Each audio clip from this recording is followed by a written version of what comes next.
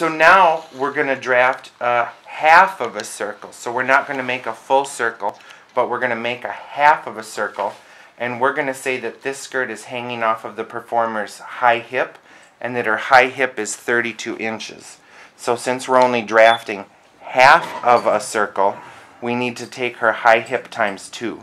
So 32 times 2 is 64. So now I'm going to use this row and this axis point.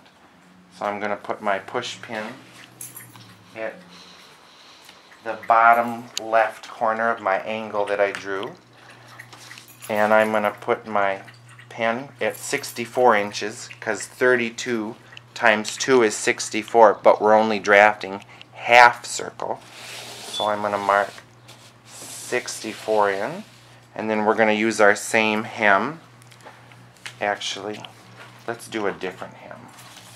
Let's say that this is short, like for a skating costume.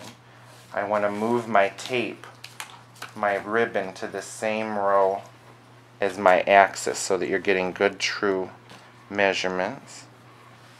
And we're going to make this now with a 16 inch hem.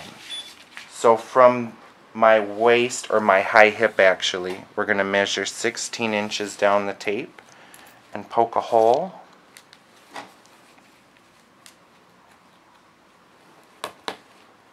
And then we're going to put our pencil at 16 inches.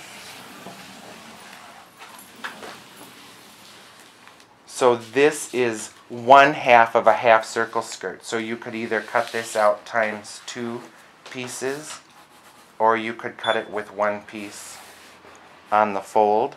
And you can also use the same uh, circumference ruler to go ahead and mark in your seam allowance if you want right off the bat.